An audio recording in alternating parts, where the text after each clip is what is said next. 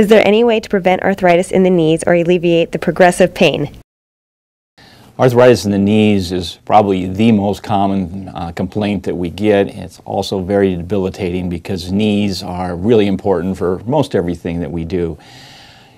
If you do not injure your knees by participating in contact sports, uh, other things, then you're less likely to have arthritis later on.